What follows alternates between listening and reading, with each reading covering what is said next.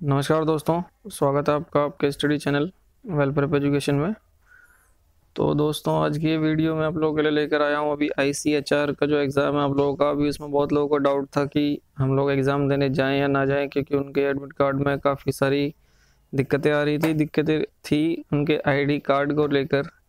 कि उन्होंने जो अपलोड किया था आईडी कार्ड वो नहीं दिखा रहा था एडमिट कार्ड में, और कोई और ही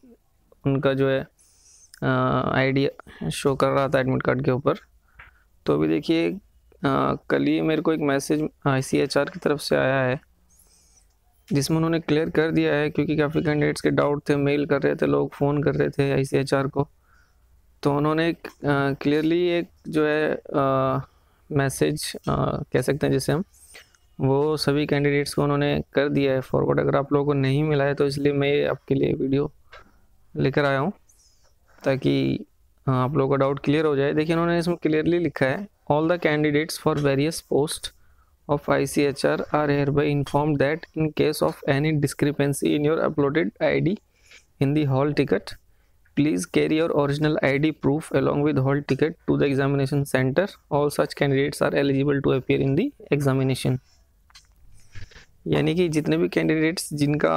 एडमिट कार्ड में कोई डिस्क्रिपेंसी है आईडी कार्ड को लेकर तो अपना ओरिजिनल आईडी प्रूफ लेके जाएँगे अपने उसी एडमिट कार्ड के साथ जो गलत एडमिट कार्ड आ रहा है उसी के साथ, और वो सारे कैंडिडेट्स एलिजिबल हैं पेपर में बैठने के लिए। तो उन्होंने क्लियर कर दिया तो अब कोई टेंशन की बात नहीं, आप लोग एग्ज़ाम देने जा सकते हैं। और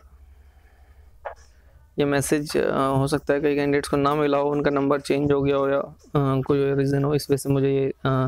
वीडियो बनाना ज़रूरी था। तो चलिए candidates all the best bye bye please like and subscribe my channel if you like the video